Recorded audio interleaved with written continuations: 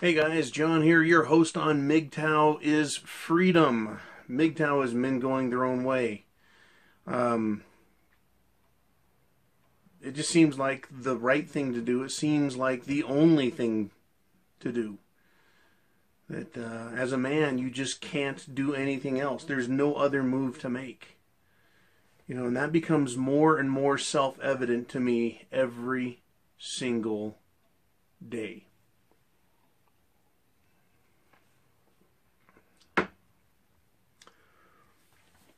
You know, I uh, I had my life experiences, and they're continuing. You know, life hasn't stopped for me. In fact, life is getting better for me. Um, when I started this channel, I wanted to share some information I wanted to do a little ranting. I wanted to give men a little taste, right, of what it's like to experience things through my eyes and with my mind. But there were some things I did not foresee.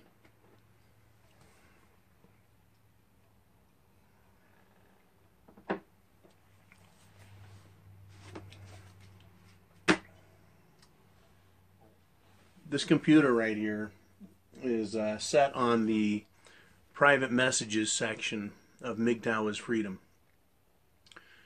It is loaded with hundreds of stories from you guys. Hundreds. Every video I do ends up with hundreds of comments. Some of them are comments of support. Some of them are shared stories. Some of them are references. Um, and a lot of it is um, is inspiring to me because you guys are trying to encourage me to continue to do this.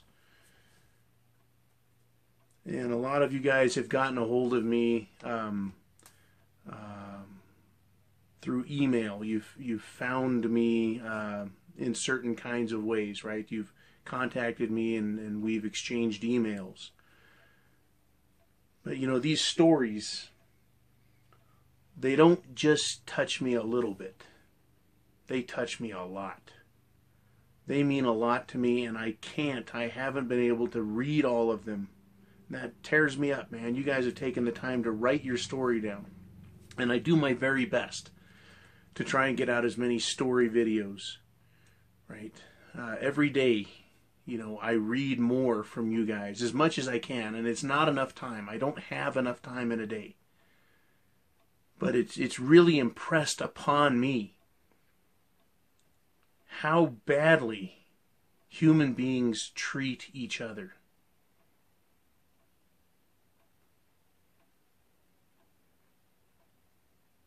When a human being has a power, has power, has influence over another, they abuse them.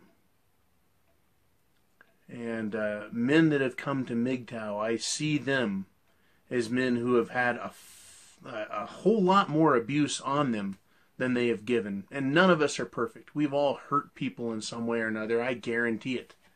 Whether you know it or not. And it's the ones that you don't know about that you've hurt, right? You had no idea you hurt them. It happens. But when we get to MGTOW, we talk about men who have been trashed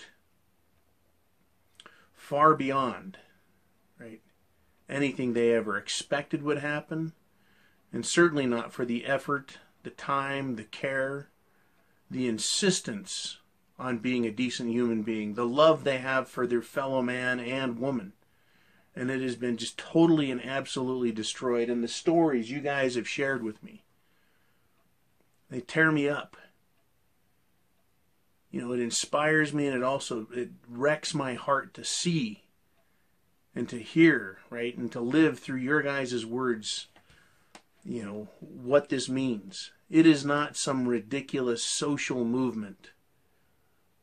MGTOW is not a form of feminism. It is not going after women and demanding that they pay for our lives.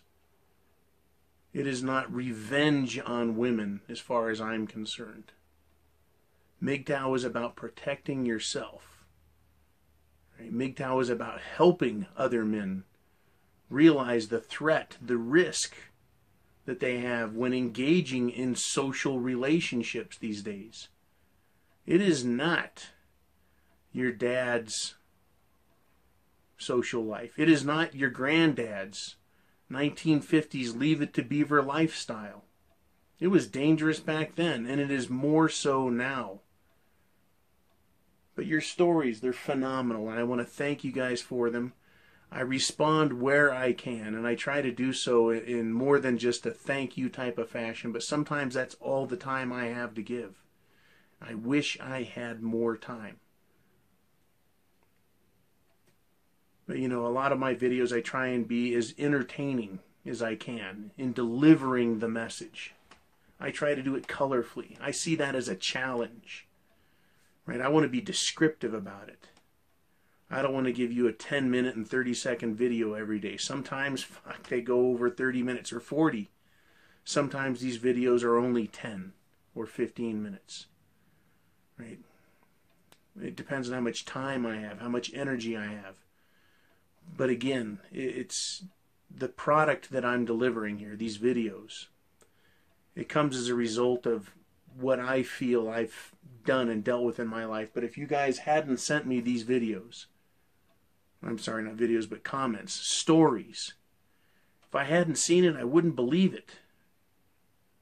Right? Because at first I thought there's just a few of us out here, just a few guys that see it my way. Maybe 10 or 20,000 of us.